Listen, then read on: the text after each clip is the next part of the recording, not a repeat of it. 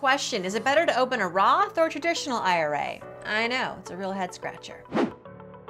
I've got some good news for you. You can't really go wrong with either one. Both a traditional and Roth IRA account help us to compound our savings for the purposes of building a retirement nest egg. But depending on your situation, you might be better off with one over the other. Now, first, what is a traditional IRA?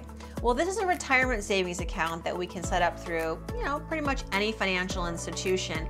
And one of the biggest benefits is that contributions can help to reduce our taxable income today. So if we contribute the maximum, which is currently $6,000 a year, then we can reduce our taxable income by $6,000, thus paying less in taxes today. Then when we make the withdrawals later in retirement down the road, we pay income taxes on those withdrawals. With a Roth IRA, you can contribute just as much each year and your money can benefit from compounding interest, just like the traditional IRA, but there is an opposite tax benefit.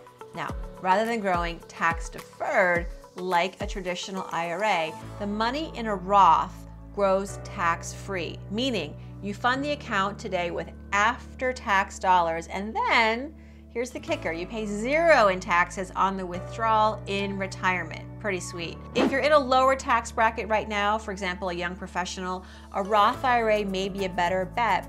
That's because there's a good chance your tax rate is only gonna get higher the older you get, and the more money that you earn. A Roth IRA can help you save on taxes in retirement.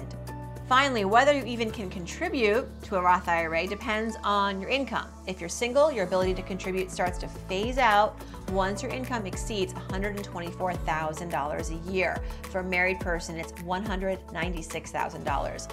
So get in while you can. All this to say, a Roth might offer you more of a tax savings in the long run, but you need to get in while you can. For more, stick with us here at Next Advisor. I'm Farnoosh Torabi.